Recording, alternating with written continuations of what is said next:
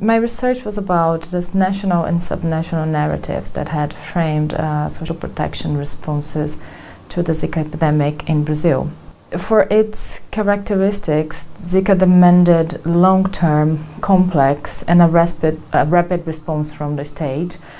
And this has also highlighted the lack of integration of public policies and also some of the weaknesses and fragilities of public policies in Brazil.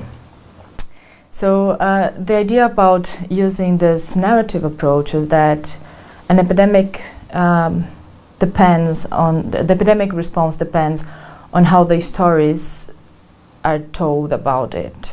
So who is who is doing this framing? Which kind of evidence is used? Which kind of knowledge um, is being considered?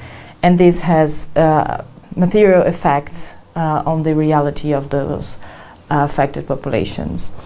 So uh, at the national level, the state response was mostly framed through an austerity narrative. At the moment, we were facing a huge political and economic crisis in Brazil, and this was translated into budget cuts and also into maintaining the and controlling the access to social benefits in Brazil, aligned with a moral discourse uh, to combat corruption. At the same time, uh, the epidemic was seen as having a clearly beginning uh, at the northeast, an outbreak at the northeast. This was controlled by the state and it was contained by the end. So an epidemic with a beginning and middle and an end. And this narrative also ignored the structural problems that had um, that gave rise to the epidemic, but also the long-term consequences for the children and uh, their caretakers as well. And most of the governmental efforts were mosquito centered. They were focused to combat the mosquito and not to take care of the affected population.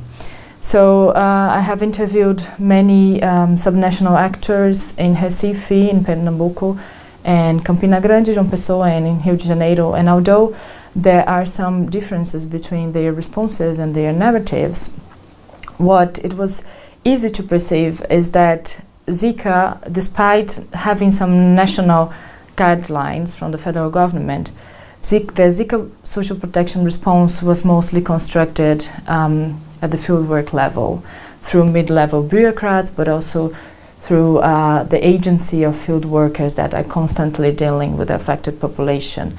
And those are mostly women, bureaucrats, uh, social assistants, um, teachers, or therapists, nurses that work more than we're supposed to do, building informal networks or using their personal connections to ease the access of this affected population and the mothers and the children to uh, access social benefits and the public policies they are entitled to. So I used to say that Zika was a policy that was made in practice from women to women the those bureaucrats they're mostly women that work more than we're supposed to do.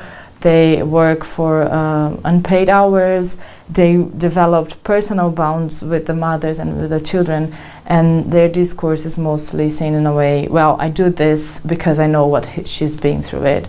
Um, because I, I feel empathy for this because i could be in her own shoes. So that's it like despite all the strict guidelines from the federal government, in reality, um, the social protection response was to Zika was made through the agency of these um, bureaucrat women at the state and local level.